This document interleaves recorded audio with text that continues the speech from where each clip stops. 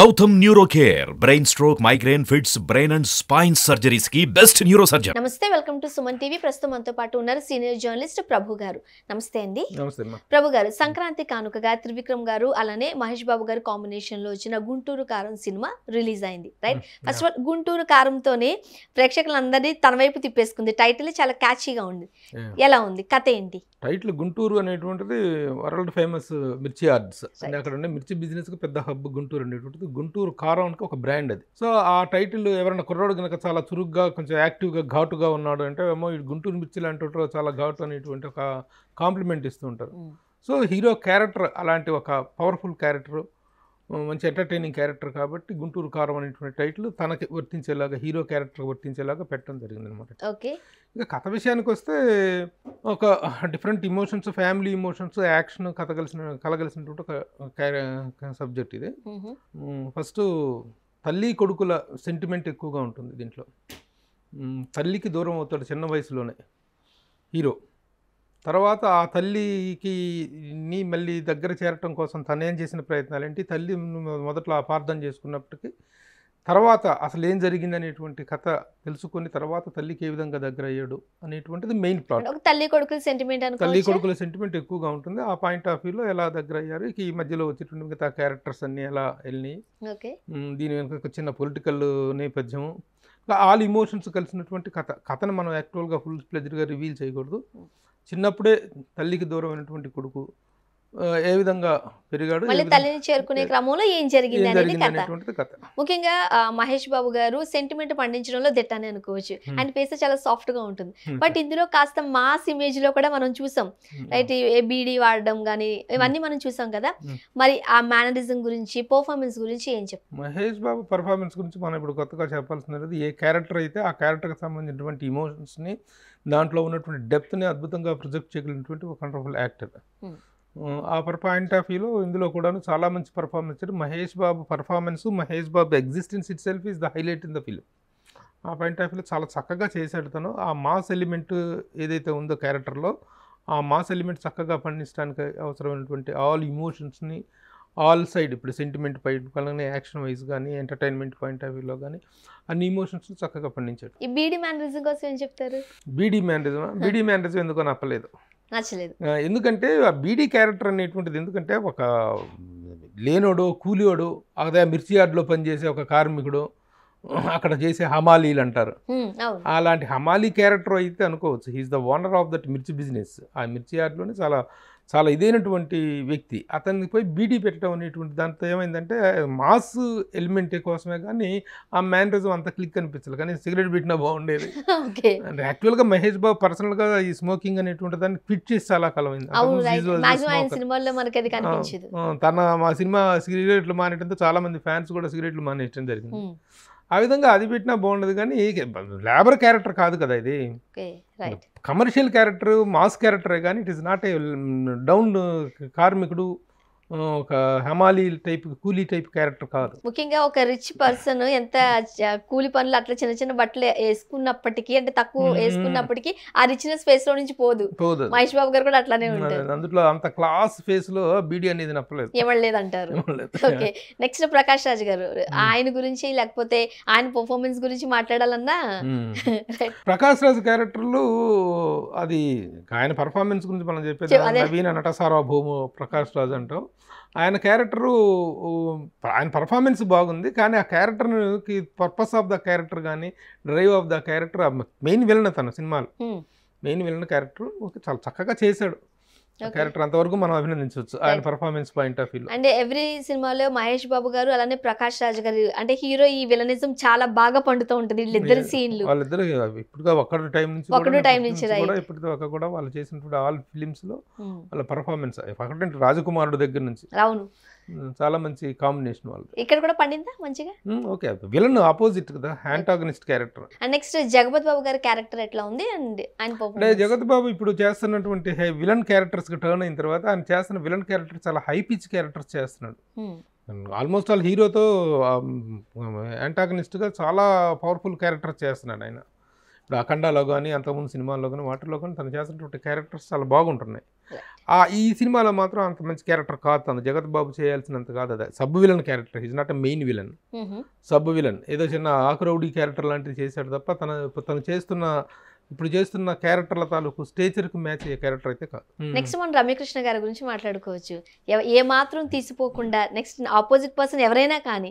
So వాళ్ళని dominate చేసేలానే మన రమ్యకృష్ణ గారి ఆ క్యారెక్టర్ ఉంటుంది అట్లానే పర్ఫార్మెన్స్ కూడా ఉంటుంది. ఈ అయితే ఇందులో?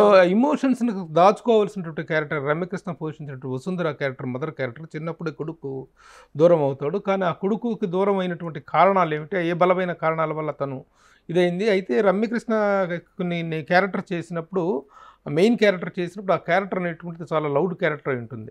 మనం చూసినటువంటి బాహుబలి సిరీస్లో కానీ వాటిల్లో రాజమాత క్యారెక్టర్ చేయటం కానీ అంతకుముందు నీలాంబరి క్యారెక్టర్ కానీ వీటిలో చాలా లౌడ్ క్యారెక్టర్స్. ఇందులో లౌడ్ క్యారెక్టర్ కాదు. తన ఇమోషన్స్ని దాచుకునేటువంటి ఒక మదర్ క్యారెక్టర్. ఆ క్యారెక్టర్ ఆవిడగా నట గురించి మనం కొత్తగా చెప్పడానికి. అండ్ ఈ మధ్య కాలంలో చాలా పాపులర్ అవుతున్నారు ఈశ్వరి గారు రైట్ ఈశ్వరి ఈశ్వరి బాయ్. బాయ్ గారు ఈశ్వరి బాయ్ Right. ఈశ్వరి బాయ్ ఏంటంటే అత్త క్యారెక్టర్ ఆ వరుసగా అత్త అవుతుంది. హీరోకి. ఆవిడ కూడా ఈ ఈ కోపాలు తాపాలు వీటికి మధ్య నలిగిపోయేటువంటి ఒక క్యారెక్టర్ అనమాట కొంచెం డిఫరెంట్ తను చేసినటువంటి గతంలో చేసినటువంటి మన సలార్లో కానీ అంతకుముందు కేజీఎఫ్ సిరీస్లో కానీ చేసినటువంటి ఒక సీరియస్ మదర్ క్యారెక్టర్స్ కంటే డిఫరెంట్ క్యారెక్టర్. కొంచెం ఆ గుంటూరు యాసలో మాట్లాడేటువంటి క్యారెక్టర్. అండ్ నెక్స్ట్ మనం మాట్లాడుకోవాల్సింది హీరోయిన్స్ గురించి. శ్రీలీల గారు అయితే కుర్చీ మడత పెట్టి మొత్తం యూత్ అందరినీ మడత పెట్టి పక్కన పడేశారు. అలానే మీనాక్షి గారు కూడా ఉన్నారు. సో వీళ్ళ క్యారెక్టర్స్? కాస్త కోస్త పర్ఫార్మెన్స్కి అవకాశం ఉన్న క్యారెక్టర్ ఉందనుకుంటే అది శ్రీలీల పోషించినటువంటి క్యారెక్టర్ మాత్రమే అముక్త మాల్యద అనే క్యారెక్టర్ పోషించింది ఆమె. Hmm. ఆ క్యారెక్టర్లో కొంచెం పర్ఫార్మెన్స్కి అలవాటు అవకాశం ఉంది కానీ ఈ మీనాక్షి చౌదరి చేసినటువంటి రాజీ అనే మరదల క్యారెక్టర్ హీరో మరదల క్యారెక్టర్ ఇక ఏం సెట్ ప్రాపర్టీ లాగానే ఉంది తప్ప ఆ అమ్మాయికి పెద్ద పర్ఫార్మ్ చేయడానికి పెద్ద ఛాన్స్ ఏం లేదు. నెక్స్ట్ మన కమెడియన్ వెన్నెల కిషోర్ గారు ఉన్నారు. నెక్స్ట్. ప్యాడింగ్ ఆర్టిస్టులు కూడా అందరూ ఉన్నారు. పెన్నెల వెన్నెల కిషోర్ ఉన్నాడు. తర్వాత Prakash Raj main villain character చేశాడు. జగత్ బాబు గురించి మాట్లాడున్నాడు రఘుబాబు Hmm. రవిశంకర్ సునీల్ ఇలాంటి చిన్న చిన్న క్యారెక్టర్స్ ఆ క్యారెక్టర్స్ తగ్గట్టుగా వాళ్ళు చేశారు. సో ఓవరాల్గా చూసినట్లయితే ఆర్టిస్టుల పర్ఫార్మెన్స్ పాయింట్ ఆఫ్లో ఓవరాల్గా ప్రతి ఒక్కళ్ళు తమకు ఇచ్చిన క్యారెక్టర్ ఎందుకంటే ఆర్టిస్టుల గురించి మనం ఎప్పుడు చెప్పుకున్నా ఒకటే చెప్పుకుంటాం. ఆర్టిస్ట్ అనేటివాడు ఒక ద్రావకం లాంటివాడు. ఏ సీసాలో పోస్తే ఏ పాత్రలో పోస్తే ఆ పాత్రకి తను అనుగుణంగా మారి దానికి అవసరమైన required amount of performance talent ప్రదర్శిస్తాం artist పని. ఆ పాయింట్ ఆఫ్ వ్యూలో అందరూ చేశారు. ఇక the highlight is the Mahesh Babu performance right Trivikram garu అలానే మహేష్ బాబు గారు కాంబోలో వచ్చిన థర్డ్ మూవీ ఇది. సో త్రివిక్రమ్ గారు తెలిసిన విషయమే మనకి. ప్రతి ఫ్యామిలీని కూడా అట్లా పిండి పక్కన పెడుతూ ఉంటారు. సో ఓవరాల్గా ఈ మేకింగ్ గురించి కావచ్చు. ఏం చెప్తారు? త్రివిక్రమ్ పాయింట్ ఆఫ్ వ్యూలో చెప్పుకోవాలనుకుంటే మా ఆర్టిస్ట్గా మహేష్ బాబు ఏ స్థాయిలో సక్సెస్ అయ్యాడో యాజ్ అ రైటర్ డైరెక్టర్గా మహేష్ బాబు- త్రివిక్రమ్ ఈ సినిమాలో అంత పర్ఫార్మెన్స్ మాటల ఇచ్చిన మాంత్రికుడు కదా మాటల మాంత్రికుడు. ఆ మంత్రం అంతగా పనిచేయలేదు ఈ సినిమాలో. కథ స్క్రీన్ ప్లే దర్శకత్వం అనేటువంటి మూడు ప్రధాన బాధ్యతలు తను తీసుకున్నప్పటికీ కూడాను. మాటలు గతంలో మనం త్రివిక్రమ్ శ్రీనివాస్ దగ్గర మనం పొందినటువంటి ఎంటర్టైన్మెంట్ లెవెల్స్ ఏవైతే ఉన్నాయో ఆ లెవెల్స్ రీచ్ అవ్వలేదు. అని. చెప్పుకోవచ్చు. డైరెక్టర్ పాయింట్ ఆఫ్ వ్యూలో డైరెక్షన్ అనేటువంటిది is not a shot composing right shot కంపోజింగే direction అనుకుంటారు చాలా మంది ఆ పాయింట్ ఆఫ్ వ్యూలో చూస్తే ఆయనకి ఎప్పుడూ కూడాను వండర్ఫుల్ డైరెక్టర్ గ్రేట్ డైరెక్టర్. కానీ ఎక్కువగా ఆయన అట్రాక్ట్ అయింది ఆయన ఎంటర్టైన్ చేసింది ఆయన డైలాగ్స్ ద్వారా. ఆ డైలాగ్స్ గొప్పగా పీరిన డైలాగులు లేవు. అలాగనే చప్పగాను కూడా లేవు. ఇదిగా ఉంది యావరేజ్గా ఉంది. అంటే సినిమా టెక్నికల్ వాల్యూస్ గురించి ఏం చెప్తారు? Technical values Haasini and Haarika productions అనేటువంటిది it's a wonderful banner right ఈ రోజున one of the top banners in Telugu production values అనేటువంటి చాలా టాప్ నాచ్లో ఉన్నాయి.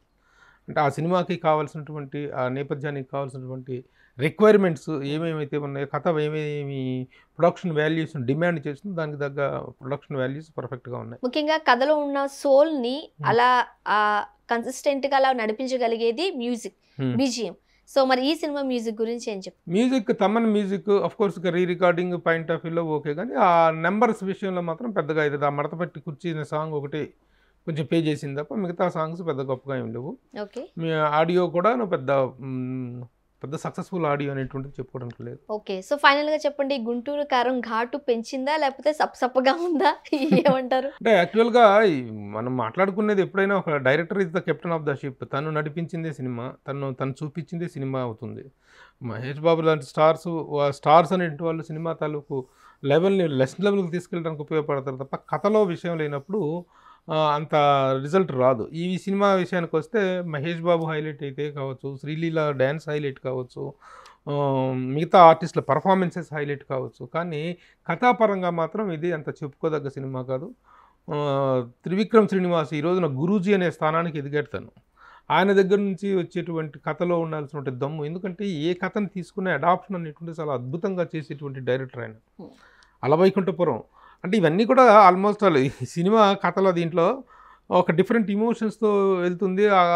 మనం అత్తారింటికి దారి కనుక సినిమా చూసినట్లయితే అత్తారింటికి దారిలో ఆ చివరిలో అత్తని మీట్ అవ్వటం కోసం అత్తని. కన్విన్స్ చేయటం కోసం టైటిల్కి జస్టిఫై చేస్తూ ఉంటారు ఎప్పుడు కూడా. టైటిల్ జస్టిఫికేషన్ కనిపిస్తుంది. అలాగే అలవైకుంఠపురం అనేటువంటి దీంట్లో కూడాను ఆ కథను డ్రైవ్ చేసిన విధానం చాలా అద్భుతంగా ఉంటుంది. కాకపోతే దీంట్లో కథ అనేటువంటిది లేదు. కథని లో ఆ ఇమోషనల్ కంటెంట్ అనేది ఎప్పుడైతే మిస్ అవుతుందో ఆ మిస్ అయినప్పుడు అల్లుకున్న సన్నివేశాల్లో ఆ ఇది ఎప్పుడైతే డెప్త్ మిస్ అవుతుందో ఆటోమేటిక్గా కొంత పలసన పడిపోతుంది కొంత స్లో అవుతుంది సినిమా.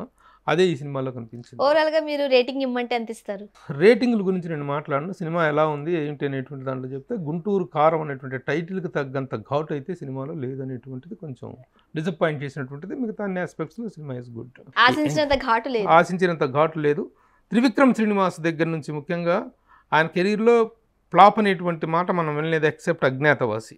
రైట్ అజ్ఞాతవాసి తర్వాత మళ్ళీ కొంచెం డిసప్పాయింట్ చేసిన సినిమా గుంటూరు కారం అనేటువంటిది ఆ ఘాటు తగ్గింది అనేటువంటిది చిన్న థ్యాంక్ యూ సో మచ్ అండి. రివ్యూ అందించారు. Thank you very much okay అమ్మా. ఓకే.